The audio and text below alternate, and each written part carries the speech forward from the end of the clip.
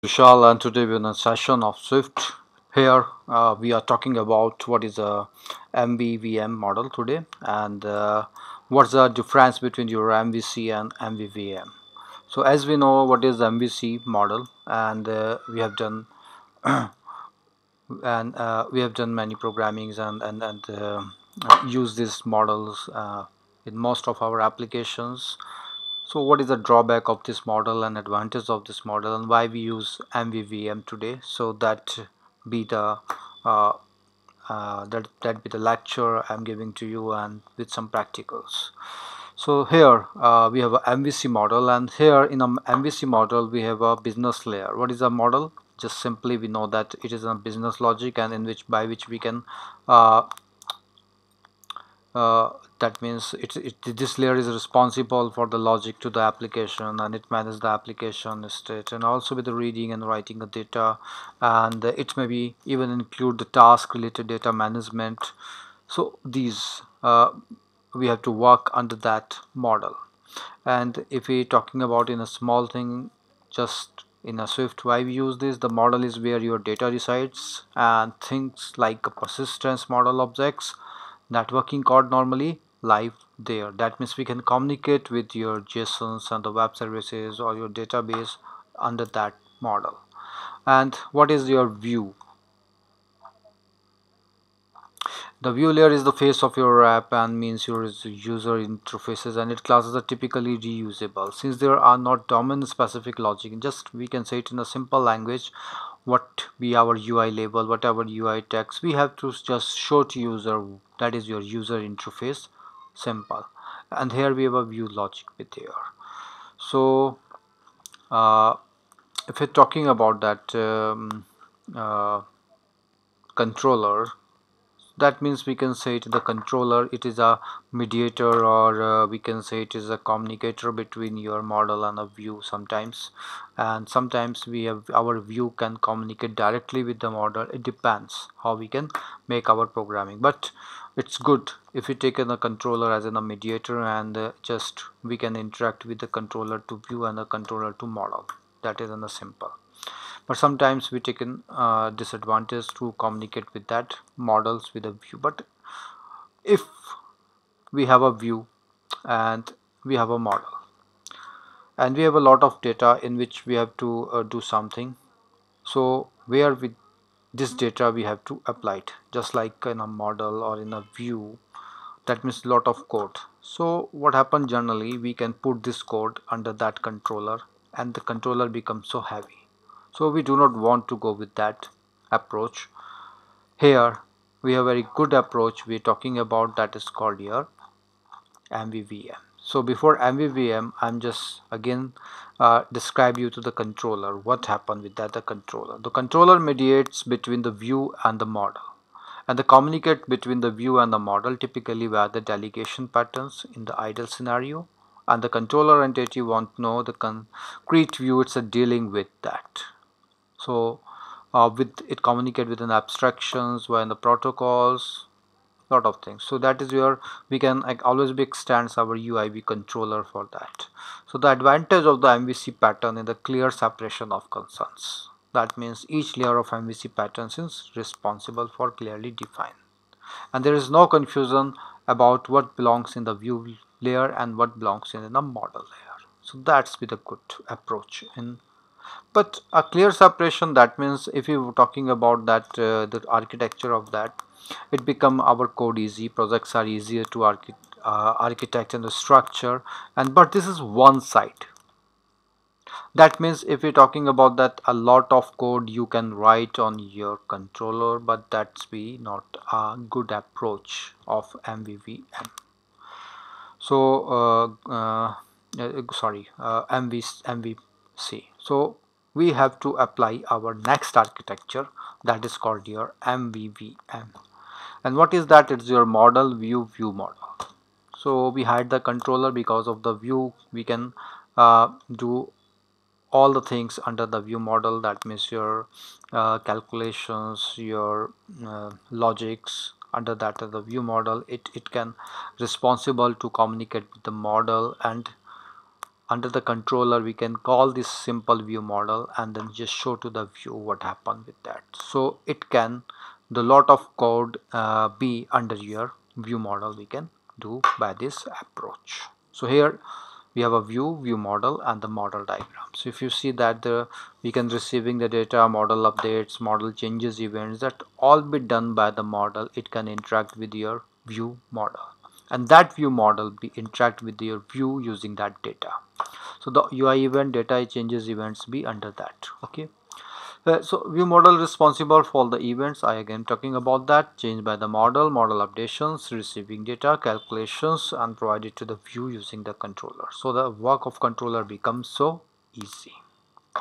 Now again i described to you just uh, I go through the things. What is the MVC and why don't use this MVC model? So the MVC is your model view controllers. The model is a business logics view just representation to the user and that controller that is the interaction between the view and the model approach. And uh, here we can say the view layer have two important tasks that presenting data to the user and handling user interactions. And the advantage is that the code is very well structured. Everything should be in the form of a view model and a controller approach. But sometimes what happen that there be the lot of code under the controller. So uh, due to some logics some business logics some some uh, events so these kind be thing the logics be happen there and then uh, the controller become heavy controller on that case. So that be the not a right way to choose that. So we apply mvvm very separation. That is your model view view model and controller.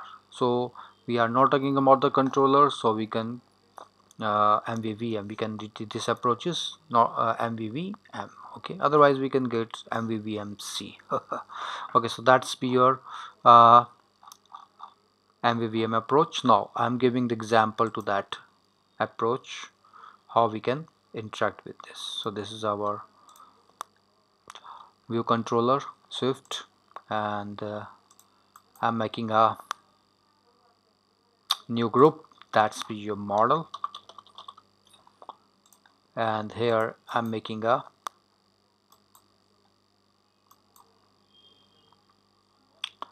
one more group that's be our model view.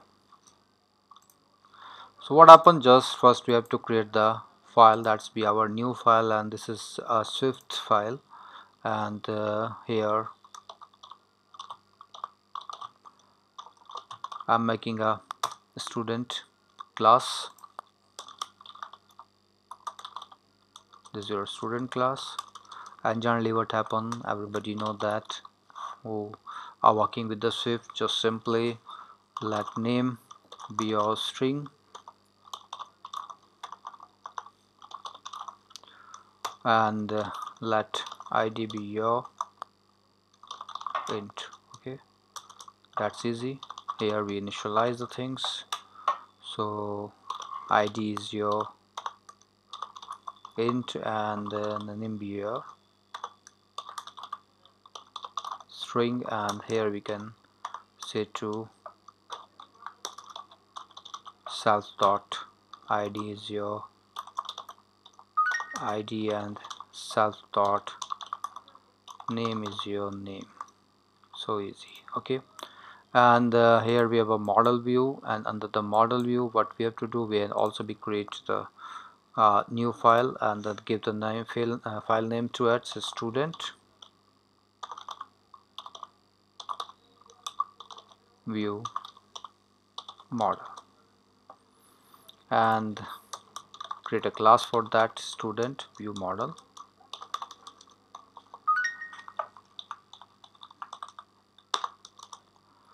and just take the same values here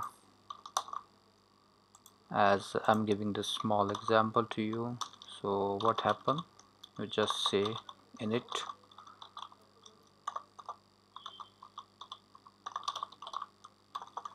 make uh,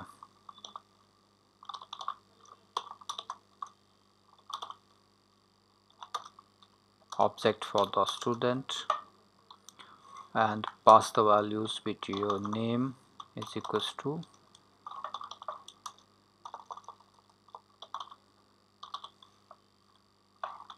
this is your student dot name and uh, id is your student dot id so this is our simple student view model. So if you want to do something with this maybe we may do the other functionality and uh, uh, your methods be you can put it here. Uh, I will take it on another example to you. Uh, but here uh, but here you can just simply see it what happened with that student and what is the controller approach. So what to do for that? You just go for the main storyboard and I have to show something uh, so I am using the UI label. And here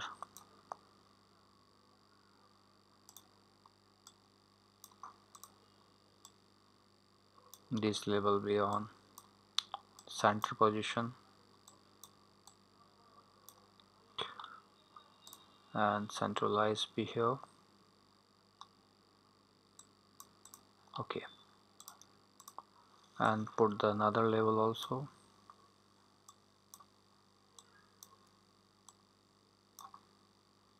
Give it to the center again. Okay. So here uh, if you want to change the background then it's good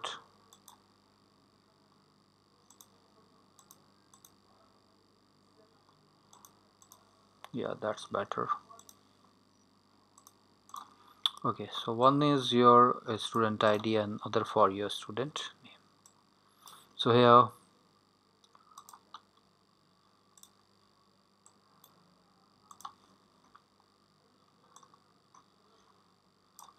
just go for the outlets and this outlet is your student ID and uh,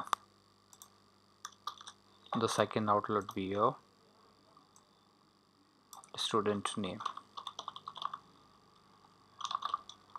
Very simple. So when we using this approach here you can see the code of line speed reduces everything should be if, if I want to communicate within a simple structure. So what to do I'm uh, giving this student an approach be here here just say let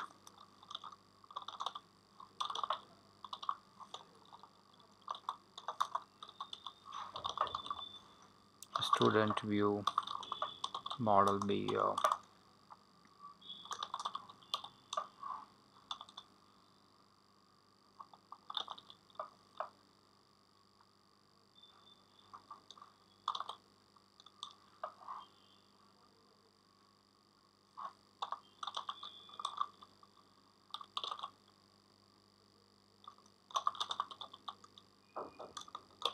student view model and we can create a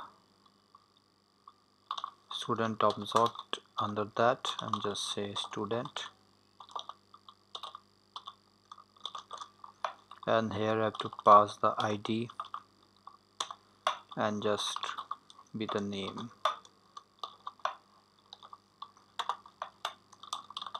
That's your Vishal and if you want to show it to the user what happened missed the bracket. So say student id dot text is equals to your student view model dot id it is in in the form of integer. So convert it into the string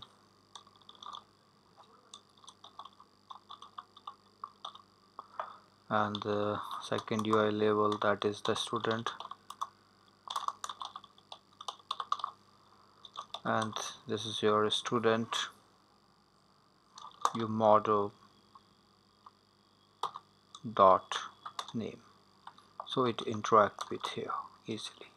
And when we call it to be oh shit. I have to stop this task I have to choose uh, 5 so because of it is on the running phase. Okay so this is a very simple example of the student how the student uh, first we have to create a student swift and here that be that be your model be we can say it and uh, we can interact with the getter setters to our database interactions and your student view model be here by which we can just put this class and can access the data and and your view controller what happened we just show to the user what happened with that our view model. We call this view model here and then if you want to be the work with that student view model uh, functions be there so we can interact it easily. Okay let's see what happened. Yeah building success and uh, see the result what happened with that. Uh, then I'm come on the another example of uh, how we can do the calculations uh, under the view model.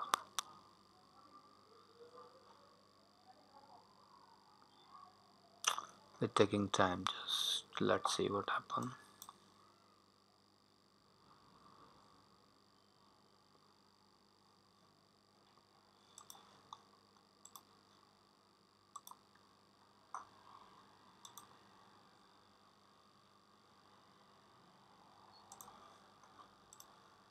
yeah. Now it show to us what is an ID and what is your name of the student?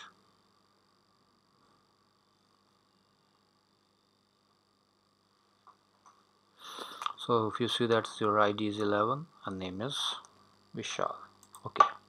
Now I'm giving the example another example. Go for the model. You can make your models. All models be here under the model package and this your shift and if we go for the employee class what happened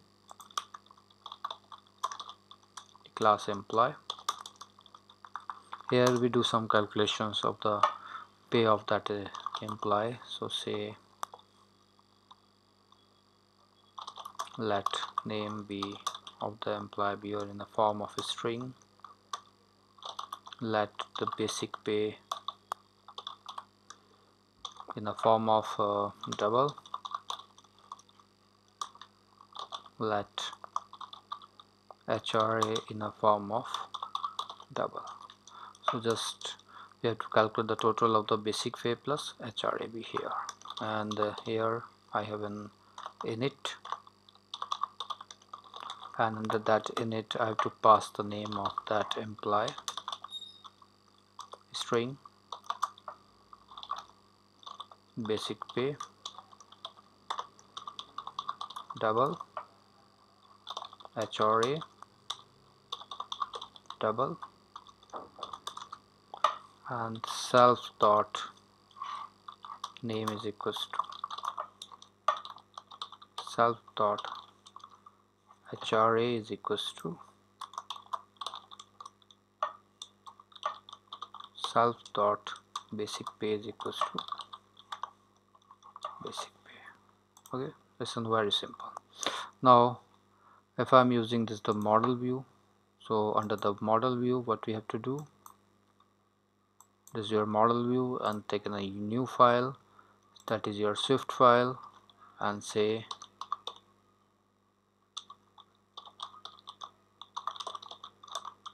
employee model view. And say class employee model view just take these variables. Because of in the basic example so I'm taking this like that. We have a different approach to um, just use the getter setters and the uh, other approaches we can find it. But here in the first level programming you can see as it. And here we have object of the employee. That's your employee have to just pass these values. Be under the name. Employee dot you can access the then name. And your basic pay. Employee dot basic pay. And the HRA that's your employee dot HRA and if you want to do some calculations like on the function calculate pay no need to go for this calculate pay and, and uh, in your controller. So that's the benefit of this. You can do the things under here. This is your total return the total and you can say it let total is equals to your basic pay plus HRA so this is the approach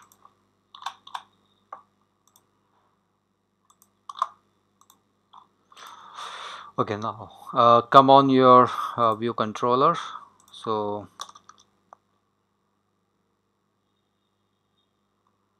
hmm, okay do one thing. Hide this code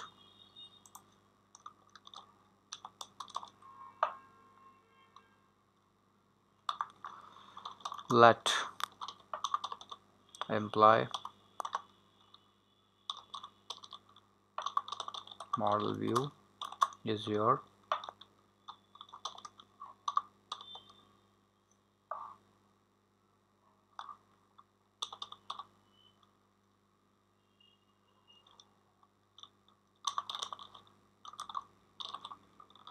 model view. And here you can see it that's be your employee class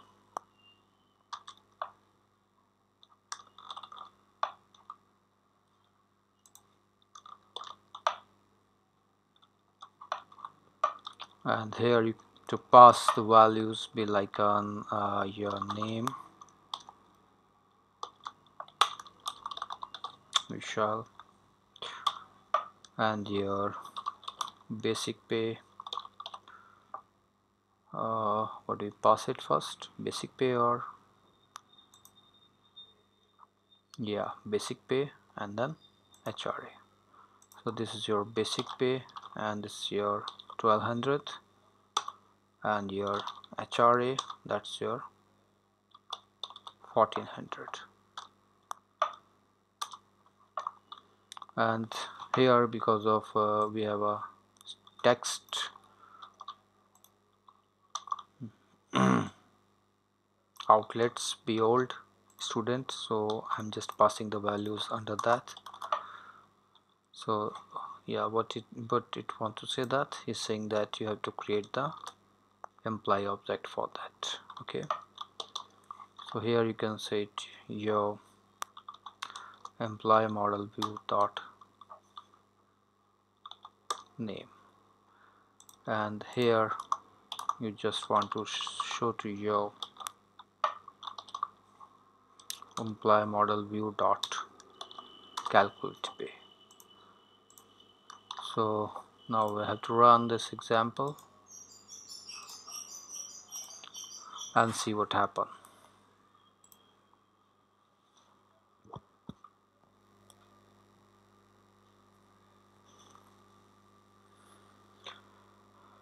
now it's become so easy we can just do everything and just pass the parameters in the controller and then see that what happened with it. So if you give uh, if you see that so the 1200 plus 1400 is the 2600 the calculations be your total pay. And name the employee and we have a total salary be this. So likewise that you can do the approach of MVVM and uh, on my next tutorials I will describe you the more uh, examples that be the bigger than this. So this is your simple practice examples how we can start our MVVM so thank you so much guys. Uh, thank you so much